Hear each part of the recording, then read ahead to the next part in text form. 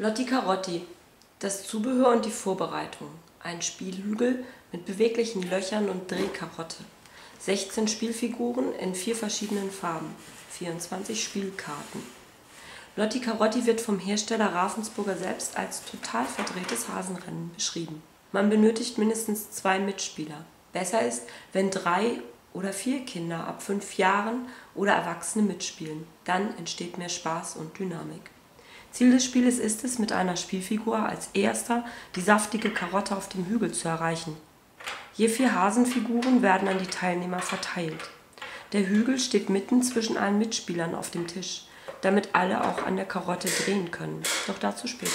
Die Karten werden gemischt und der verdeckte Stapel wird ebenfalls so hingelegt, dass er für alle gut zu erreichen ist. Der jüngste Spieler beginnt, danach geht es im Uhrzeigersinn, der Reihe nach. Der Spieler, der an der Reihe ist, nimmt die oberste Karte vom Stapel. Er folgt der Anweisung auf der Karte und der nächste Spieler ist dann an der Reihe. Die Karten. Ein Feld weitergehen bitte. Drei Felder überspringen. Zwei Felder überspringen. Klick. Hier muss der betreffende Mitspieler an der Karotte drehen, bis sie mit einem lauten Klick einrastet. Man kann gleichzeitig alle seine Spielfiguren ins Spiel bringen. Das ist ratsam, da nämlich, wenn an der Karotte gedreht würde, die Hasen einfach durch ein Loch in den Hügel verschwinden können. Schwups. Eine verschwundene Spielfigur bleibt unter dem Hügel, bis das Spiel beendet ist.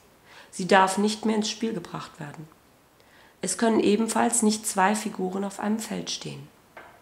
Dann muss der Spieler eine andere Figur ziehen, oder in einigen Fällen, wenn keine andere Figur mehr da ist, aussetzen.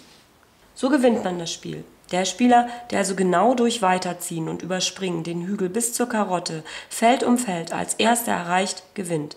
Dabei darf nicht mit einer Karte vorgerückt werden, die sagt, zwei Felder überspringen, wenn doch nur noch ein Feld vorgerückt werden muss oder kann. Aber das ist wohl logisch. Da muss der kleine Hase geduldig warten, bis die richtige Karte, ein Feld weiter bitte, gezogen wird.